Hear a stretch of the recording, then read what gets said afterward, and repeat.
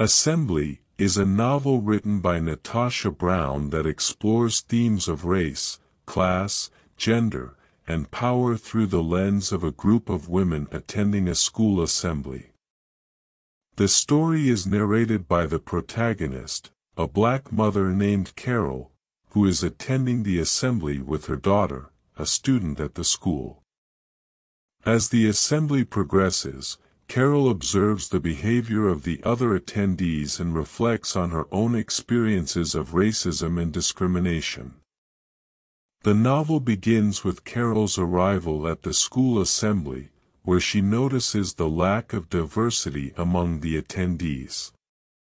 The majority of the audience is white, and Carole is one of the few black people in the room.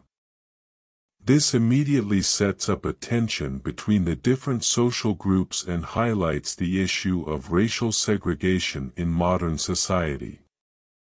As the assembly begins, Carole's attention is drawn to the keynote speaker, a white male professor who is giving a lecture on race and politics. Carole becomes increasingly frustrated by the speaker's ignorance and lack of understanding about the experiences of black people. This frustration is compounded by the behavior of the other attendees, who seem more interested in their own social status than in the issues being discussed. Through Carole's observations, the novel explores the power dynamics at play in society. The white male speaker holds a position of authority and is able to use his platform to shape the narrative around race and politics. Meanwhile, Carole and other marginalized groups are silenced and excluded from the conversation. One of the most striking elements of the novel is the way it portrays the insidious nature of racism. While there are no overt acts of racism in the story, the novel shows how racism can manifest in more subtle ways. For example, Carole notices that the other attendees are constantly questioning her presence at the assembly, even though she has every right to be there.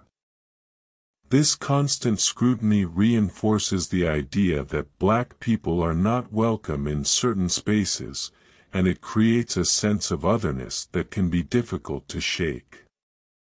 Despite the pervasive nature of racism, the novel also offers a sense of hope. Carole's reflections on her own experiences show that there is power in speaking out and sharing one's story. By telling her own narrative, Carole is able to challenge the dominant discourse and offer a new perspective on issues of race and power. Another important theme of the novel is the intersectionality of oppression. Carole's experiences as a black woman are shaped by both her race and gender, and the novel shows how these two factors intersect to create unique forms of oppression. For example, Carole reflects on the way she is often seen as angry or aggressive when she speaks out about racism, which is a stereotype that is often applied to black women. This stereotype is rooted in both racism and sexism, and it highlights the complex nature of oppression. Overall, Assembly is a powerful novel that offers a nuanced exploration of issues of race, class, gender, and power. Through the character of Carole, the novel highlights the insidious nature of racism and the importance of speaking out against it. The novel also shows how different forms of oppression intersect and create unique challenges for marginalized groups.